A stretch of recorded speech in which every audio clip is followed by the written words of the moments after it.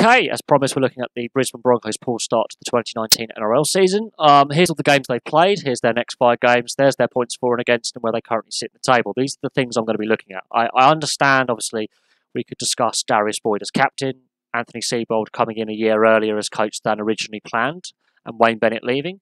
Losing Sam Thaiday and Korbin Sims, Thaiday to retirement, Korbin Sims going to the Dragons, and even McGuire going to the Cowboys as well. They've lost three key forwards. The halves, Nikorima's now left for the Warriors, so you know now that that poses further issues. Anthony Milford is he's too unstructured, and there's no structure in the halves position. Yeah, Corey Oates is the only guy who can regularly score points on a regular basis, it seems. So let's have a look at things, shall we? And some of the numbers make really shocking reading. So let's have a look. They they start their campaign against the Storm away and they lose 22 points to 12. They were well behind at half time. They gave the Storm a, a head start. But the Storm traditionally start the season first round out the gates like they're already in a grand final. The Storm are always a traditionally well prepared side. They've only failed to win, I think, twice, twice on the first round ever in NRL history. Says a lot, really. To lose the Storm away from home is not the end of the world. I will say that. I will stress it's not the end of the world. But to concede 22 points and to be completely hopeless at half time, at nilled at half time, that's the problem. They came back in the second half. Corey Oates gets two tries, but they leave it too late to start playing. And this is an ongoing theme throughout this opening eight games of the season. Um, so they lose 22 points to 12. It's not the end of the world, though. There are things they can work on. Anthony Seibold, he, he had a similar start to his time at the Rabbitohs, and look what he did with them last season. I think part of the problem is he came a season early. We could discuss Anthony Seibold and the Wayne Bennett swap to death. Uh, I think Seibold should have had that second season at the Bunnies, and Wayne Bennett should have finished out that last season at uh, this season at the, the Broncos. We may have seen a different start the season for both sides. Who knows? That's hindsight. They play their first home game against the Cowboys. They win 29 points to 10. It's a good side result against the side that win in the first round, the Cowboys. Good side result. Fierce local rivals. They scored 29 points. That's a really good response to losing in round one, is to put in a strong performance like that in round two. And their defence is pretty solid. They only concede 10 points. That's going to change. Uh, there's this lengthy losing streak. But they win that first home game. All's looking well, right? This is where it starts to go wrong. They lose against the Dragons uh, with a Corey Norman drop goal. Uh, a game they could and possibly should have won. Uh, they lose 24 points to 25 at home. And this starts a four game losing streak. And uh, it's a painful losing streak, but that is a game they should and could have won. Uh, poor game management is another thing that comes up. And Anthony Milford being in the halves, Nikorima's now gone, but those two were the halfbacks at the time. Game management Darius Boyd as captain has, has, got to have a word with these players and say, just just complete the set, put the ball in touch, complete the set, put the ball in touch, get a repeat set if possible. They weren't doing that. And they were allowing the Dragons back in the game. And the Dragons allowed the Broncos back in the game. It was a very sloppy game, highly entertaining, mine as a neutral, which I was, but they allowed the Dragons back in when the Dragons were rocking. They didn't turn the screw. There was no game control, no game management. The Dragons get back in it. Then they get allow the Broncos back in. They missed the field goal. The Broncos, you know, missed that field goal. Corey Norman gets the field goal. All hell breaks loose. The Dragons win the game. This then starts the losing streaks. They then have to dust themselves down. That is a highly emotional game they've lost. They put a lot of energy in that game. And Korbin Sims, their ex player, has a field day with their forward pack. He dominates the young forward pack. He makes lots of meters, really driving force behind the Dragons. They go into the game against the Roosters. I wish they hadn't. The Roosters uh, put 36 points past them. They only score one try. They lose 36 points to four. They are hammered away from home. Absolutely hammered at the Sydney Cricket Ground.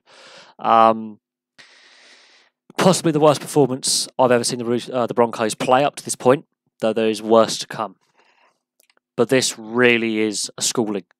There's a reason why the Roosters won the grand final last year. There's a reason why they're favourites to do the double back to back. The Broncos aren't even on the same page. It's not even close. It's not even fair. It's like if that was a boxing match, they would have that would have been a, uh, a, stoppage in like round two, round three. It, they were blown out the water, absolutely annihilated, and it it really sums up where they are at. A young, inexperienced side playing against the the, the reigning Premiership champions. Um, it was like lambs to the slaughter. There was no structure to their play. There was no confidence to their play, no pace, no no nothing, no game management. Defense was ha- all over the place. There was no defensive organisation, and that comes down to the halfbacks, fullback, the spine. Darius Boyd as captain should be organising the teams, and the players around him, giving instructions. He lacked leadership. There was there was they were being dominated in the contact area. They were hammered. They then go and play the Tigers at home and they lose 16 points to 22 and get another game they should and could have won. And that's at home. And this Tigers side, well, they've gone off the rails a little bit in the last couple of weeks. Up to this point, this Tigers side can can and will score points uh, if they want to. Um, defensively, the Tigers are a bit suspect. The Broncos didn't score enough points against the suspect defence. They they also near the end, they got into the lead and then they coughed it away. So game management again is a problem.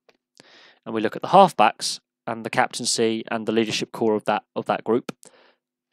Game management's a massive problem. There's not enough people stepping up and saying, keep it calm, let's just get a set of five in, let's get a kick away, kick to touch, try and get a repeat set, good kick chase, nothing like that. It's just an aimless kick on the end.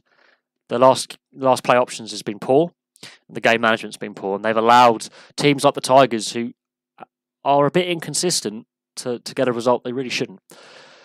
Then they go play away at the Raiders. Now, they actually had the Raiders, and this game seesawed. They were ahead going into the last half, last stage of the second half, and then the, the Raiders uh, snatched the win. And again, game management. This was a seesawing game where game management would have proved crucial. The Raiders, Aidan Sezer is out, so they're, they're, they're trying a new halves combination. Um, yeah, no, this was a this was a uh, poor game management again. Is coming out, but at the same time, while they've scored 22 points, they've conceded 26, and we'll get to the averages of for and against point scoring uh, later on in the video. That is something you're noticing is the points they're conceding: 22, 10, 25, 36, 22, 22. They are conceding double figure points every game up to this point. The only game where they haven't conceded double figure points was against the Sharks uh, two weeks ago. Now, the Sharks decimated by injury in this game. Um, they beat them 29 to 6, so they can score points, the Broncos, if they feel like it, if they're confident. The two games they've won, they've scored 29 points. So if they get to that 29 point mark, they can win. If they can get over 28 points, they win.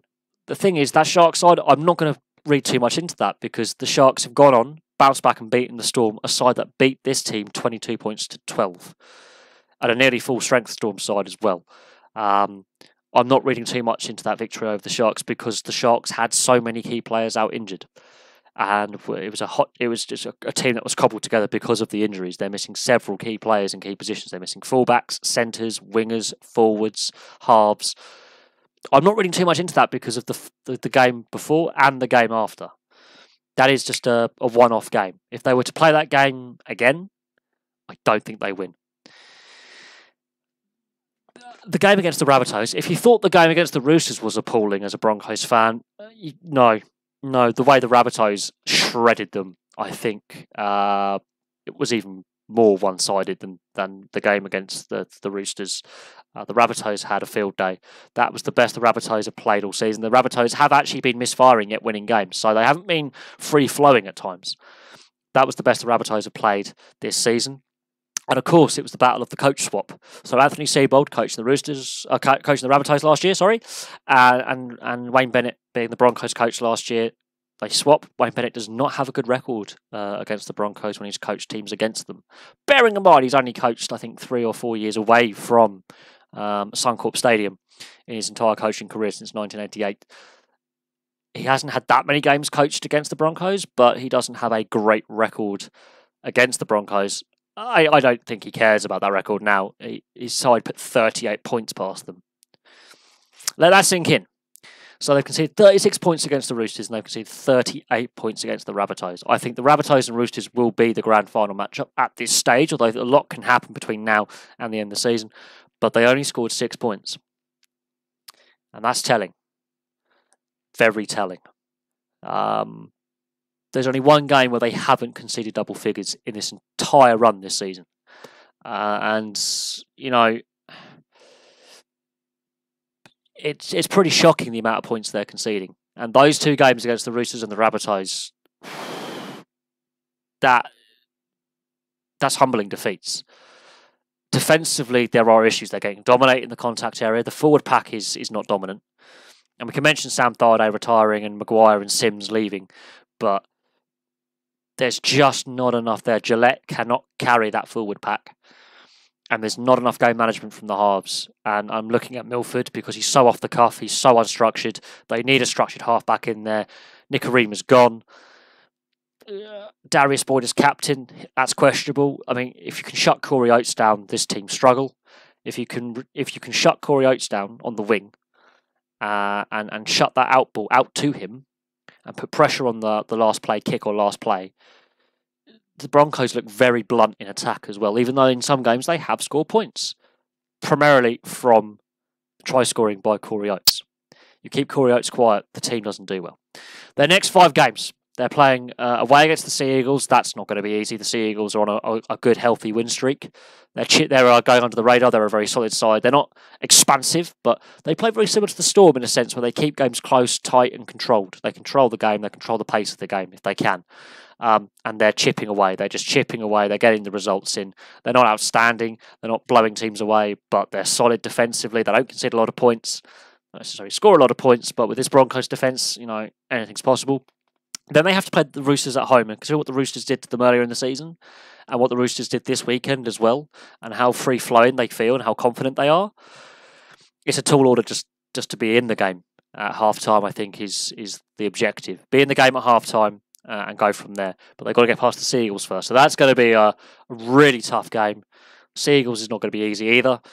Then they play the Warriors away. Now, the Warriors, the wheels will come off for them as well. Uh, they're another team on four points, but they are above them in the table. They've got a better defence and a better attack. They've they, their for and against record is, is for points scored and conceded is better. So that's going to be an interesting game. That's a game they have to target the Warriors do also have a very shaky defence, uh, and they're also on a losing streak as well.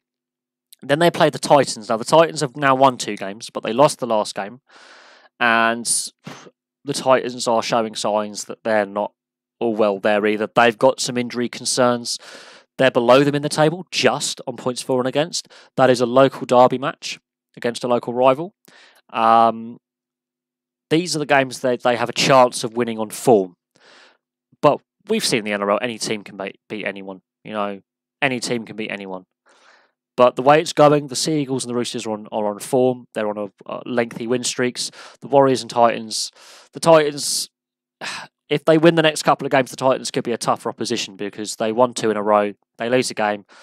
I don't put too much into that. There was an injury in the game that disrupted the, the organisation somewhat. I, I'm not putting too much into that defeat. And this is like four weeks down the line. A lot can happen. But as it currently stands, the Sea Eagles and Roosters, they really are on form. Warriors and Titans, easier games, you would think, looking at the form sheet, but that's on paper, that's not on the ground. We don't know what the weather's going to do. We don't know if there's any more injuries in training or, or in the games preceding the Warriors and the Titans. And the Titans could get back to winning ways as soon as this weekend and that could happen. Uh, the Warriors, they have an attack there, but it's the defence that's the real issue. They could also get back to winning ways as soon as this weekend. Um, the form book would say otherwise, but it's it, there is a chance that could happen. And they finish this the next five games playing against the high flying, high scoring Eels.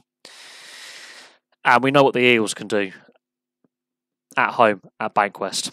They they've scored a lot of points already in two games. They've scored over eighty points in two games at home at their new stadium three out those next five games are a very tall order with how they're playing right now and with the defence that they currently have. So let's have a look at where they stand in the table. They're currently 13th. They've got four points. They've only got the two wins.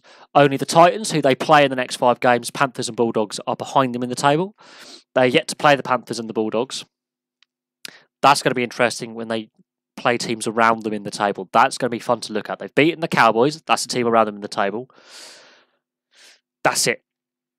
Every other team they've played is above them in the table, as it currently stands. Uh, the Tigers are probably the closest ones to them in the table as it currently stands, and they lost the Tigers as well.